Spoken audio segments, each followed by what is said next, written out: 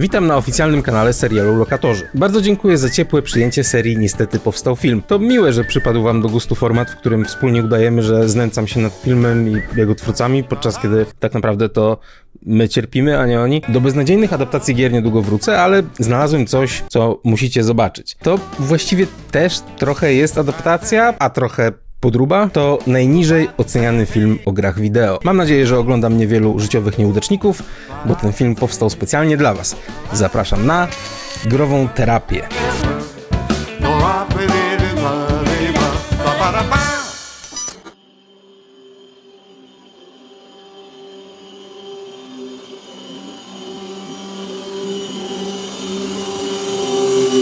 Game Therapy to film wyjątkowy z kilku powodów. Po pierwsze, w serwisie IMDb otrzymał najniższe oceny ze wszystkich pełnometrażowych filmów traktujących o grach wideo. I jest tych ocen w sumie niemało. Dlaczego? Bo po drugie, to film, w którym występują m.in. włoscy youtuberzy. Niewątpliwie jest to jeden z powodów, dla których tak wiele osób oceniło go na jeden. Dzięki czemu może się pochwalić nawet niższą średnią niż omawiany ostatnio Tekken 2. A to był pod niektórymi względami najgorszy film, jaki widziałem. Ale czy obecność youtuberów jest jedyną przyczyną niskiej oceny? No nie, powiem więcej. Game Therapy to taki kloc, że ja po obejrzeniu tego filmu też już ich nie znoszę, a nawet nie oglądałem żadnego ich materiału, bo nie znam włoskiego. Buongiorno ragazzi, posso iniziare a registrare qualcosina, farvi vedere cosa stiamo facendo qua in Giappone. Innanzitutto vi faccio vedere I to jest kolejny powód wyjątkowości growej terapii. Ogląda się ją z angielskim dubbingiem. Wyobrażam sobie, że geneza powstania Game Therapy wyglądała mniej więcej tak. Dwóch typów zjarało się oglądając Matrixa i jeden powiedział do drugiego Ej, chodź zrobimy też taki film. Dobra.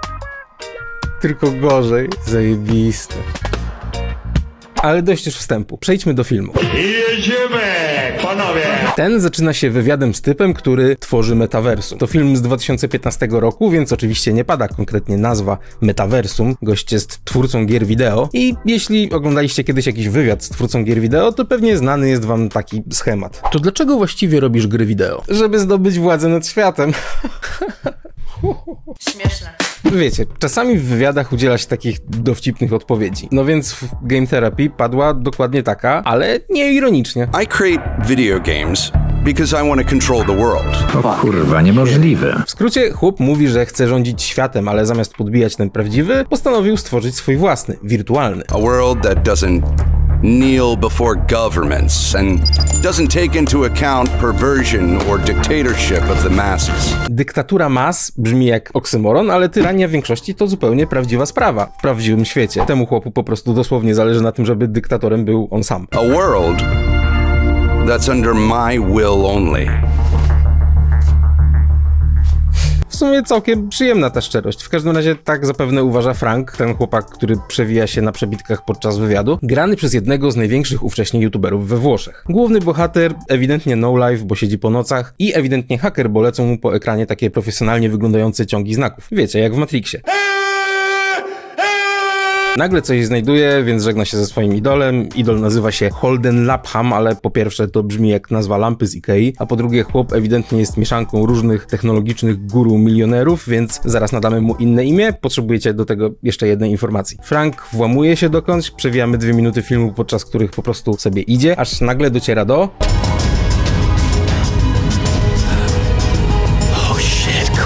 zajebiste kable i folia. Następnie jest przydługa scena, jak chłop chyba po prostu skręca se kompa, między innymi przy użyciu młotka. Kupi kurwa jesteście, co? Po czym siada przed wieloma ekranami, robi klik, klik, enter. I tytuł filmu. Następny dzień. Frank idzie sobie do szkoły, w związku z czym sam prosi się o to, żeby szkolni złoczyńcy zabrali mu telefon i wrzucili go do śmietnika. Franka, nie telefon. No i bardzo dobrze. Po drodze pojawia się jeszcze taka kwestia, którą puściłem sobie pięć razy i nadal nie rozumiem o co chodziło autorowi. five years in school together and you still can't say hello. Nie wiem, ale idziemy dalej. Bo oto wprowadzony zostaje drugi, właściwie jeszcze główniejszy bohater, John. Gra sobie w DMC i w sumie póki mogę, bo nie zaczęła się jeszcze ta największa żenada, propsuje za użycie prawdziwej gry. No i za włączonego pada. Przychodzi jego stara i John, co tam w szkole? John, masz jakieś zadania domowe? Robi mu wyrzuty, że ciągle gra w te gierki, zająłby się czymś pożytecznym, a w ogóle to na weekend wpada jego brat i w przeciwieństwie do ciebie przegrywie twój brat prowadzi świetne życie. Spadaj stąd w spokoju już! Brat na pierwszy rzut oka jest przywódcą jakiejś kurwa sekty. Kolejna zmiana sceny, tym razem Frank wraca na chatę, gdzie jego stara razem z inną kobietą obgadują jakąś typiarę. Oh, did you see how she was dressed? Yes, absurd. Who wears braids in 2015? Bardzo panu dziękuję za tę garść bezcennych informacji, ale ja to mam w dupie. Teoretycznie można by pochwalić twórców filmu za użycie prawdziwych gier, ale czemu on na PS2 ma tylko gry na literę F? Typowy włoski gracz. Final Fantasy XII, Fitness Fan i 20 odsłon FIFA. I w ogóle nie wiem o co chodzi w tej scenie. Typ dosuwa na półce pudełko ze Sniper Elite, po czym nagle jest przejście na Johna, który sprawdza jakąś zaschniętą krew na podręczniku, popija energetyka z Carrefoura, a następnie idzie oglądać gołe baby. Fajnie. I nagle znowu przejście na Franka, który będzie grać w Sniper Elite właśnie z Johnem. Frank i John wspólnie polują na amatorów. I powiem wam, że dialogi są oczywiście chujowo napisane, ale na tym etapie zanotowałem sobie, że nie wiem, czy dałbym temu aż 2,2 na 10. Spokojnie. Zaraz się rozkręci. Przewijamy trochę i jesteśmy na terapii grupowej. Moja ulubiona postać z tego filmu to ten chłop, który najpierw gapi się pani na tyłek, a potem zdaje sobie z tego sprawę i spogląda prosto w kamerę. Skup się, skup się, skup się, skup się, skup się. Skupić się nie może też Frank, który podczas całej tej terapii siedzi sobie w telefonie, podczas kiedy pani opowiada o trudach swojego życia. Na poczekalni u psychologa spotyka Johna, któremu mówi, że jego matka wywaliła ojca z domu i związała się z młodszą kobietą, co zrujnowało mu życie. Więc w ramach odwetu rzucił szkołę, co nie jest prawdą, dopiero co widzieliśmy jak idzie do szkoły. Ale dobra, na razie jeszcze się nie czepiam, bo uwaga, w tej scenie pada legitnie śmieszny żart. You know what my real problem is? Besides your mother ruining your family? no, two letters. LR. Lesbian Revolution. You're a funny guy, Sully. I like you. Rozwinięciem LR jest jednak real life, którego skrótem nie jest LR, ale wybaczę to tłumaczowi, bo ten jeden żart i tak był jedyną dobrze napisaną rzeczą w całym tym filmie. No ale dobra, najważniejsza lekcja, jaką mamy wynieść z tej sceny, to, że lekarze nie potrafią naprawić ludzkości. John jeszcze nie wie, ale widz się domyśla, że odpowiedzią Franka na problemy świata będą gry wideo. Przenosimy się do szkoły, gdzie podczas lekcji fizyki John zauważa, że laska z klasy woli rysować niż słuchać. Nawiązują kontakt wzrokowy, dochodzi do jakiegoś takiego, powiedzmy, flirtu i Aha. To ten energetyk z Carrefoura chyba nie był przypadkiem. Ziomki przechadzają się przy Carrefourze i rozmawiają o tym, że ta laska, co wcześniej rysowała, to jest szalona, bo na imprezie pływała nago w basenie. Ten rodzaj laski nigdy by do nas nie zagadał. A przecież mamy taki dobry gust. W naszym ulubionym sklepie Carrefour wybieramy tylko produkty marki Carrefour. Dobry plan. W Carrefourze Frank wyjaśnia Johnowi, że znalazł sposób na wszystkie swoje problemy. Terapię grową. Dodaje, że przy tym, co oferuje wspomniana terapia, Oculus Rift wygląda jak zabawka dla dzieci.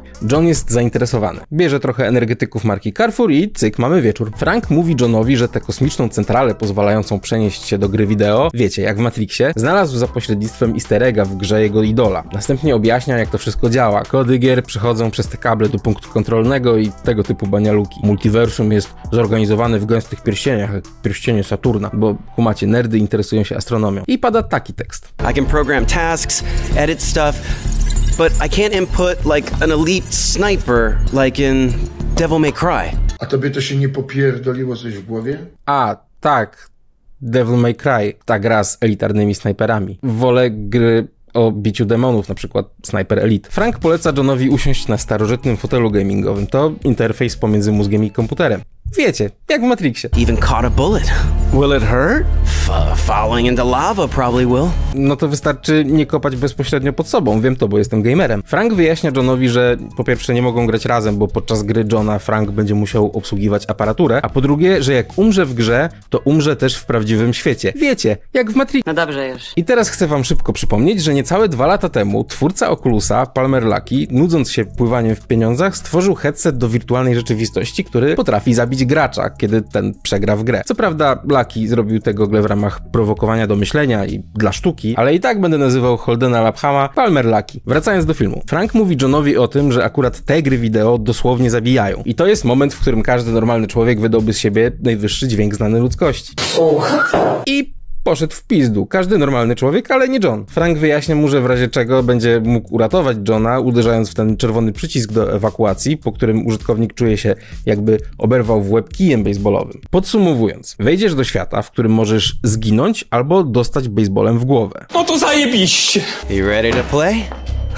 Trust me, it's a truly remarkable experience. Okej, skąd wiesz? Ponoć jedna osoba gra, a druga siedzi przy aparaturze. Nie testowałeś tego wcześniej, co? Raczej nie. John oczywiście z przyjemnością staje się królikiem doświadczalnym, a po przeniesieniu go do gry Frank przełącza z RL na GL, czyli jeśli dobrze rozumiem, z Real Life na Game Life. Co jest tak głupie, że można nie zauważyć, że przecież John już jest w grze. No ale dobra.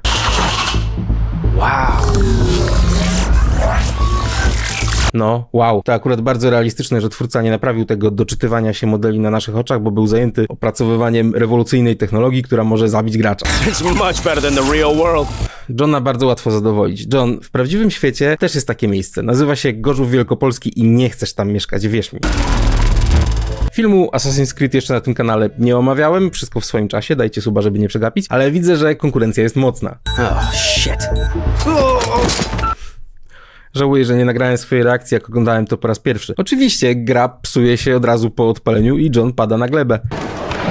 Okay. Listen, you have to wait until your brain connects the right hemisphere to your right hand. Niemożliwe, że miałeś glitcha. Na pewno jakoś źle postawiłeś stopę. Serio, co ty gadasz? Źle poszedłeś, musisz inaczej pójść. Przez najbliższą minutę czy dwie John uczy się chodzić, ale najważniejszy moment to ten, w którym zauważa tańczącą kobietę i udowadnia, że jest prawdziwym graczem, zadając najbardziej graczowe pytanie. Hey, can you also make her naked? Można się domyślić, że dla Franka byłaby to dość niezręczna sytuacja, więc odmawia. John zaczyna parkurować, a więc kolejnym krokiem jest wręczenie mu broni. Give me the biggest sword. I właśnie tacy ludzie jak ty zepsuli serię Assassin's Creed. Frank ignoruje prośbę o wielki miecz i daje Johnowi coś bardziej asasynowego. John dostaje zlecenie na zabicie takiego typa. What can I do? There are guards. They'll shoot me. Come on, think, be positive. Co najgorszego może się stać? No, umrzesz w prawdziwym życiu i co? No właśnie. John analizuje otoczenie, po czym zasłania oczy, żeby gorzej widzieć. Parkuruje sobie na górę, na górze odpycha jakiegoś typa i ja rozumiem nawiązanie, ale robi to tak, jakby chciał zwrócić na siebie uwagę. Człowieku, oczep się ode mnie. Zyskakuje, żeby zabić chłopa i pada na twarz. Dzięki magii montażu możemy dodać do tej sceny brakujący element. Czas na przeskok do innej gierki. Przypominam, że John może w każdej chwili zginąć, więc Frank słusznie obniża nieco poziom trudności i wrzuca go do symulatora farmy. Tak naprawdę to nie. Nie no, ja ja sobie robię. Oczywiście, że wysyła kolegę na wojnę. Your mission is to survive at least two minutes. What was that? Może wyjaśnię, bo w końcu ten film opowiada o growej terapii. Otóż John ma problemy z koncentracją, więc Frank wysyła go na pewną śmierć, bo na wojnie nie ma wyjścia. Musi się skoncentrować. Brawo. Brawo, brawo. Oczywiście nie umiera, ale spójrzcie na tę scenę.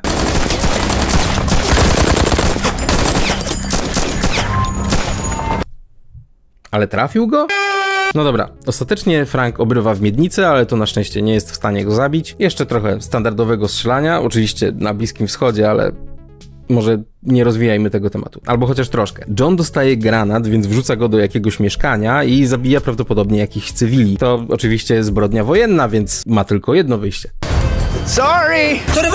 Jest jeszcze trochę nudnego tratatata, piw-paw i walki na noże, czego wam oszczędzę. And here's your reward for surviving two minutes.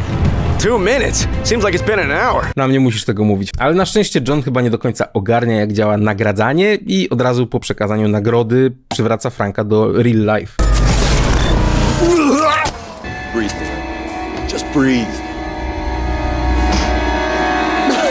They're the same picture. Od razu ustawiają się na następny dzień i od razu jest następny dzień. Terapia growa oczywiście działa. John po dokonaniu zbrodni wojennej przestał być przegrywem i wyleczył depresję. Więc najpierw zarywa do koleżanki w szkole, a następnie zaskakuje swoją mamę z własnej woli wyprowadzając psa na spacer. Chłop może w szoku jest. Nastaje wieczór, John przychodzi do Franka na kolejną sesję terapeutyczną. Frank opiera go za pięciominutowe spóźnienie. Say, what's that thing?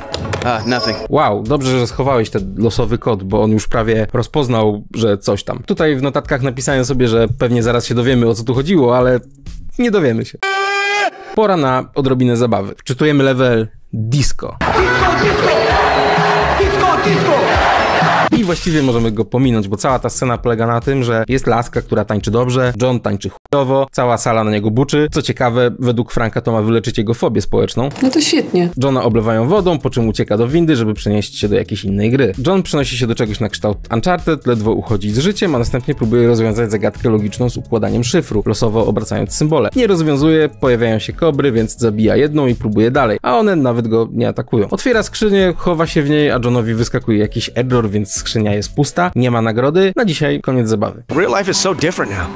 Can't say why. No, ja też nie wiem. Nie powinno być, bo cała ta terapia nie ma żadnego sensu. Następnego dnia okazuje się, że po drugiej sesji, która, przypominam, polegała na publicznym poniżeniu i losowym obracaniu symboli, John stał się pewnym siebie matematycznym geniuszem, czym zaimponował zarówno nauczycielce, jak i koleżance z klasy. Potem więc trochę do niej bajeruje, chyba. W sumie sami ocencie. Mnie to nie brzmi, jakby miało się z tego coś urodzić. You know, I'm like a diesel engine. You put some fuel in me and I go like a train. As in bed, I suppose. Is it fun mocking me? It's actually a pleasure to me. Same way you feel about algebra. What the fuck are you talking about? Tak czy siak Danika daje mu swój numer, po czym przechodzimy do jakiejś krótkiej sceny, w której Frank siedzi z matką u dyrektora i dyrektor coś podpisuje. Okej. Zmiana sceny. Frank odkrywa przy komputerze, analizując co wydarzyło się w levelu egipskim, że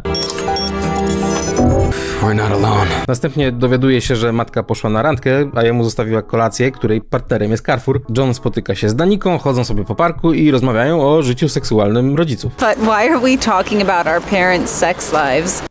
No właśnie. Anyway, how is your sex life? Listen, I heard you show off your breasts at parties. Okej, możemy jednak wrócić do poprzedniego tematu. John i Danika trochę sobie rozmawiają, jest niezręcznie, on zwierza się jej, że gdy jest przy niej, jego prawdziwe życie jest znacznie lepsze, chociaż to ich druga rozmowa w życiu.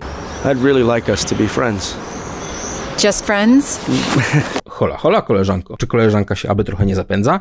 Nie jestem łatwy. John wraca do domu, gdzie odwiedza go jego fajny brat, przywódca sekty. Hey, Hey, Hej, what are you doing? studying like a madman. So much to do. And what's the hardest subject? a co cię to kur... Ej, nie wiem czemu, ale ten typ od początku mnie irytuje. W każdym razie mówi Johnowi coś tam o strefach komfortu i o tym, że matka nie pozwalała nigdy Johnowi dokonywać wyborów ze strachu, że wybierze niewłaściwie i takie tam. I niektóre z tych rzeczy nawet nie brzmią głupio, ale dlaczego podskórnie czuję, że zaraz będzie chciał go wciągnąć do sekty? And you know how you control those synapses? With meditation. With meditation. Okej, wiem, że to nie to samo co sekta, ale uznajmy, że miałem rację. W sumie nie pomyślałem, że to pewnie też jest jakiś włoski influencer, więc ze względów wizerunkowych nie mogliby zrobić z niego przywódcy sekty. Chociaż to w sumie ta sama robota, nie? Brat Johna uczy Johna medytować, a John nie wytrzymuje dosłownie 10 sekund bez chwycenia za telefon. Ta dzisiejsza młodzież. 9 lat temu. Następny dzień, następna sesja. Frank przenosi Johna do wirtualnego Los Angeles, miasta, z którego tak w ogóle pochodzi Danika. Dodam, że Frank, jak przystało na prawdziwego terapeutę, który chce, żeby jego pacjent lepiej znosił rzeczywistość, ciągle nazywa Johna przegrywem.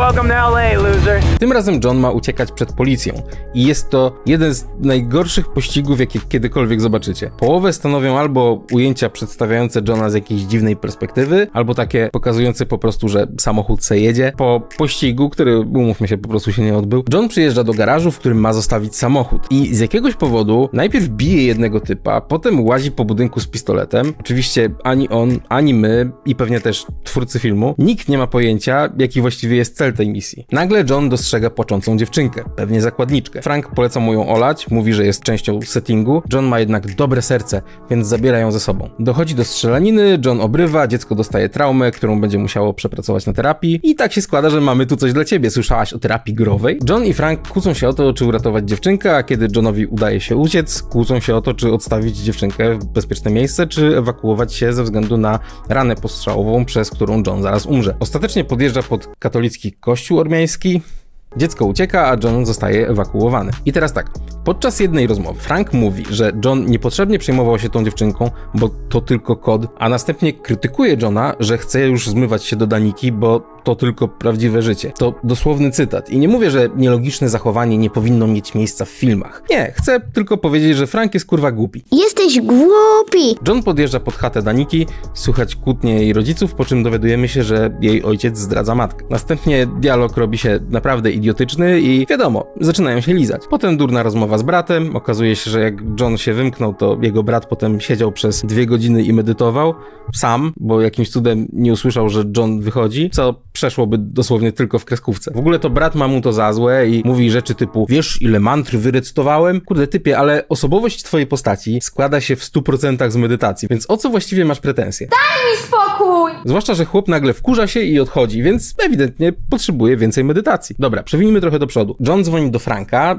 żeby wbił z nim do kawiarni na taką powiedzmy podwójną randkę. Koleżanka Daniki zerwała z chłopakiem, więc jest osłabiona i to jest dobry moment, żeby zaatakować. Bawi mnie w ogóle, że po tym jak na początku filmu Frankowi zabrali telefon, to ten wątek w ogóle nie wrócił. Po prostu ma telefon. Frank wbija do kawiarni, ale widzi, że jakiś inny typ był szybszy i się do nich dosiadł, więc rezygnuje. To był dla niego oczywiście ogromny cios, który tylko utwierdził go w przekonaniu, że prawdziwy świat jest do niczego. Więc idzie dalej pracować nad tym nieprawdziwym. Tym razem sam zamierza podłączyć się do Matrixa, co jest o tyle zabawne, że opisywał wcześniej dwa sposoby na wyjście z gry i każdy wymaga osoby siedzącej przy komputerze na zewnątrz. No ale dobra, wbija do tego poziomu z meksykańskimi porywaczami, otwiera safe, a w sejfie niczego nie ma. W międzyczasie Danika rozbiera się do Stanika, a Johnny zaskoczony. Frank jako asasyn kradnie worek, ale w worku niczego nie ma. Nasze gołąbeczki są już po cimci John trochę rozczarowany, bo było inaczej niż w pornosach. To nie jest mój żart, tak było w filmie. Online it isn't like that. Danika zmyka, obrażona na Johna. Przejście do innej sceny. Frank znowu chce wysłać Johna do Uncharted i sprawdzić, czy tym razem udało się ogarnąć ten błąd, że w żadnym levelu nie chce się wczytać skarb. Pojawia się jakaś mumia, której Frank wcale do poziomu nie dodawał, a także wirtualna partnerka dla Johna, która od razu go całuje. Nic nie rozumiem. Dostajemy trochę debilnych scen akcji. Frank każe Johnowi wskoczyć do basenu, który przenosi go pod ziemię, a partnerka zostaje uprowadzona. John wreszcie widzi jakiś skarb, ale nie może go chwycić. Ewidentnie są z tymi nagrodami ciągle jakieś błędy w oprogramowaniu, które próbuje wyjaśnić Frank. It's like this world has only one part of the statue. Dzięki, to niczego nie wyjaśniło. Pojawia się mumia, zmienia się w typa w worku po ziemniakach, John próbuje strzelać, ale twórcy filmu oglądali dokładnie jeden film i był to Matrix.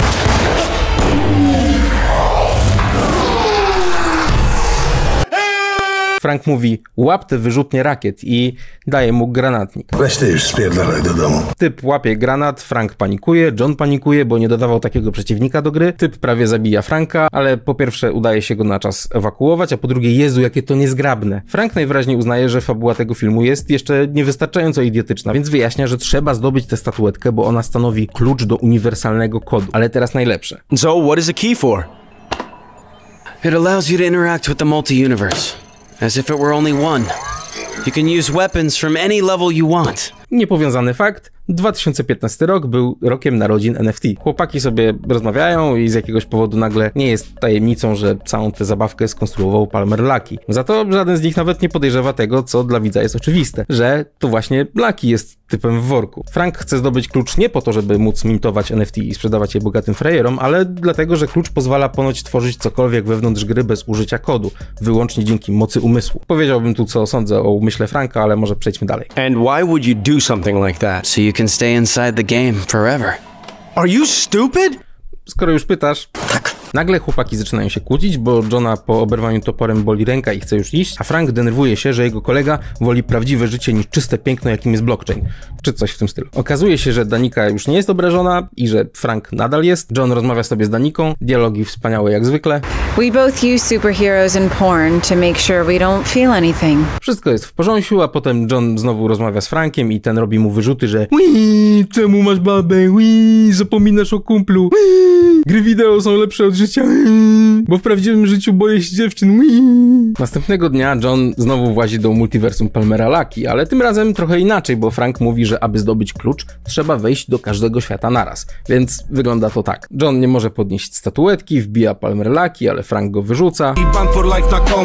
John zdobywa klucz, wszystko jest git, ale nagle znowu coś się psuje. Lucky łapie Johna i chce go zamknąć w pancernym toy-toyu, z którego ponoć nie byłoby już żadnej ucieczki. Następuje ewakuacja i nieoczekiwanie John ma wyrzuty do Franka, że jak mógł mu nie powiedzieć, że jest taki pancerny toy-toy, że nie można z niego wyjść, że skończyłby pewnie w śpiączce, bla bla bla. Panowie, czy my zapomnieliśmy, że w tej grze dosłownie można zginąć? My life was in danger. Don't you understand that? Ty, a ty rozumiesz? W każdym razie John rezygnuje z tej zabawy i spada na chatę. Następnego dnia Frank układa sobie sześć jakichś tabletek, ale decyduje się ich nie brać. Mnie nie pytajcie o co tu chodzi, ja też nie wiem, mogę tylko tak jak wy obstawiać, że absolutnie kurwa o nic. Frank bierze chyba linkę wspinaczkową, prawdopodobnie ma jakieś niecne zamiary i zamiast włożyć ją do plecaka, to trzymają cały czas, ale tak trochę w ukryciu. W każdym razie razie nie wiadomo o co chodzi z tą linką, bo ona już się nie pojawi. John w tym czasie uczy się do egzaminu, ale pisze do niego Danika, żeby szybko przyjechał, więc przyjeżdża. Okazuje się, że starzy Daniki coś tam odwalają, więc ona chce się wyprowadzić i wprowadzić do niego. On mówi, że w sumie to musi się uczyć, bo pokochał fizykę, no i ma egzamin. A ona na to, że głupi egzamin jest ważniejszy od niej, mimo że przez cały rok miał w dupie szkołę. You know what?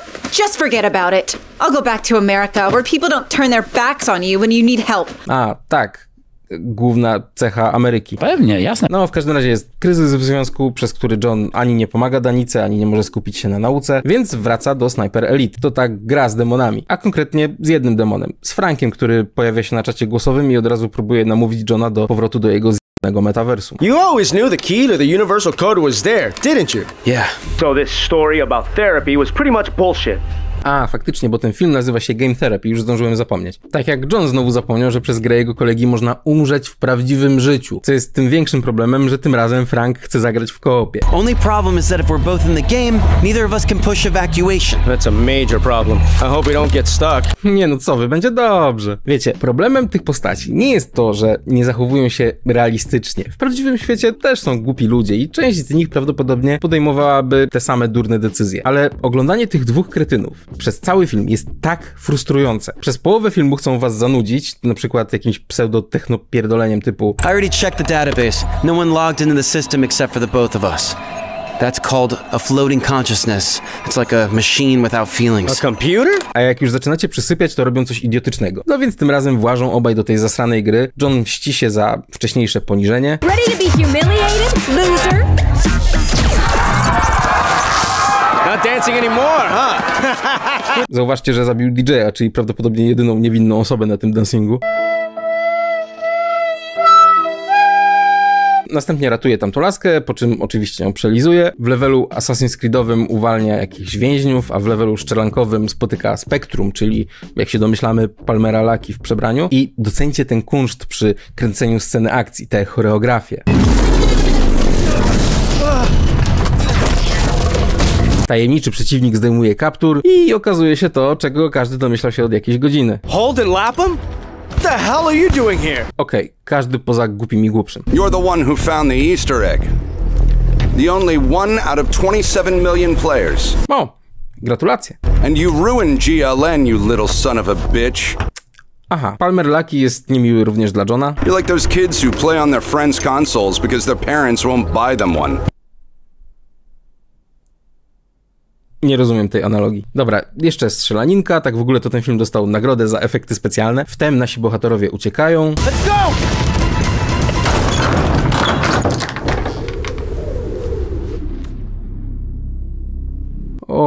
Kurwa, tylko nie Starfield. Głupki znajdują w kosmosie dwa nagie miecze i możecie spytać, ale po co im miecze? Przecież mają broń. No więc nie mają, bo jak wchodzili do drzwi to mieli, a dosłownie sekundę później już nie. Najwyraźniej każdy może być scenarzystą. No więc głupki znajdują miecze i mamy taką wspaniałą scenę.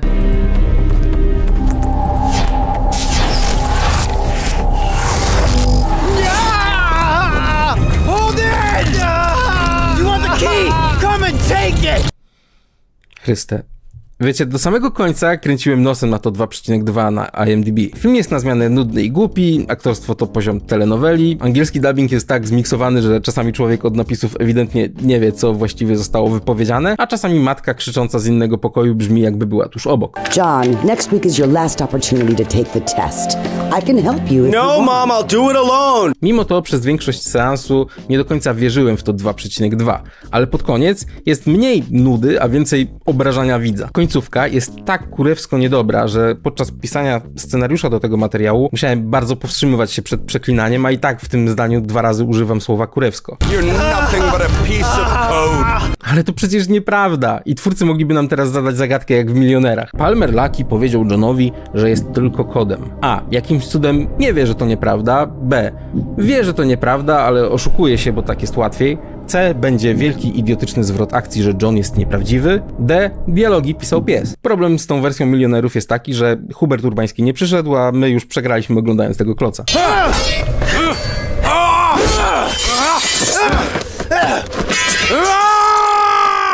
Ja pierdo... Dobra. Odbywa się walka na miecze w kosmosie. Fizyczna walka o kod, który z jakiegoś powodu też jest fizycznym przedmiotem. Główny zły zdradza, że utknął w swoim metaversum i zamierza zabić Franka, a następnie przejąć kontrolę nad ciałem Johna, żeby uprawiać seks z jego dziewczyną. To nie żart. Co? Walka kończy się historycznie wręcz chujową sceną. Proszę bardzo. You were my idol! Ah.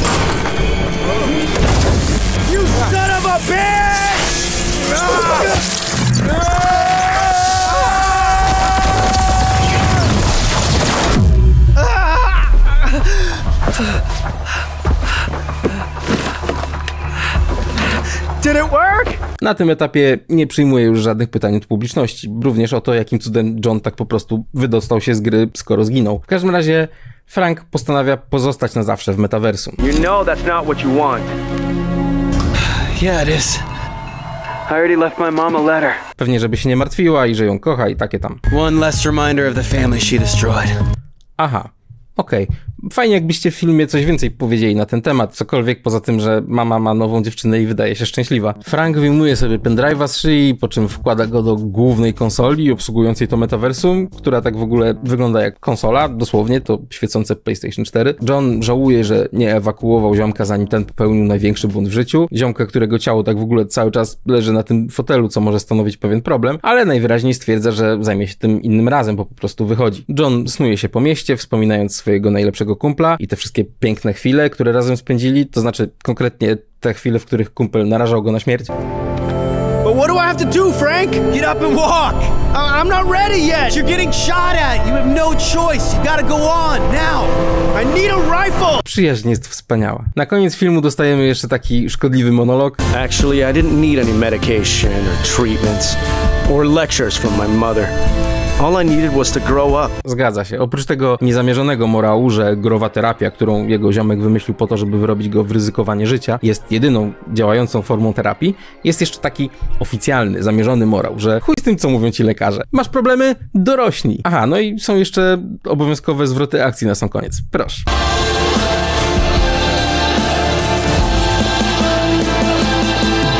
To oznacza, że ten świat też nie jest prawdziwy? I przede wszystkim, czy to oznacza, że twórcy tego filmu oglądali nie tylko pierwszego Matrixa, ale również trzeciego Matrixa? No i drugi zwrot akcji, którego z kolei każdy się spodziewał. Johnny, are you out there? I chciałbym powiedzieć, że koszmar już za nami, ale w trakcie napisów jest jeszcze dodatkowa scena, po obejrzeniu której przez 15 sekund trzymałem twarz w dłoniach. No więc John stoi sobie na budynku i już myślicie, oho, będzie nawiązanie do Matrixa? Nagle na budynek wchodzą też brat Johna oraz ten typ z początku filmu, który wrzucił Franka do świetnika i odbywa się dialog tak kurwa głupi, że nie wierzę, że ktokolwiek to napisał. Wolę wierzyć, że dodatkową scenę sobie po prostu zaimprowizowali, bo rozmowa przebiega tak. But this is a video game, right? No, I mean, yes, partly. What are you talking about? Video games, real life? What the hell are you talking about? Yeah, this is real life, trust me. Real life. Listen, if you keep talking about that shit, I'm leaving, man. John przekonuje tego typa od śmietnika, że za krzywdy, które wyrządził Frankowi, jest mu winien przysługę. Ten zgadza się pomóc. Jak? Proszę bardzo. What do we do now? Listen, we have to jump. Obviously, you're first. Now we'll be four down there.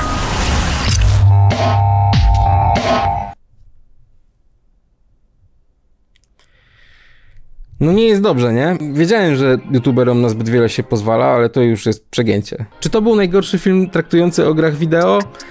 Jest to możliwe. Będę sprawdzać kolejne i mam nadzieję, że będziecie mi w tym towarzyszyć. A jeśli chcecie, to chyba faktycznie warto oprócz subskrypcji kliknąć ten zasrany dzwoneczek. Miałem tutaj na koniec zrobić taki trik, że na pożegnanie podnoszę telefon i znikam jak w Matrixie z takim fajnym efektem, który by mi nałożył montażysta, ale spokojnie Mati, nie zrobię ci tego. Wiem, że ty też jesteś zmęczony. Po tym filmie wszyscy potrzebujemy terapii, growej terapii, w ramach której jak zwykle polecam wam zagrać w serię Blackwell. Do zobaczenia.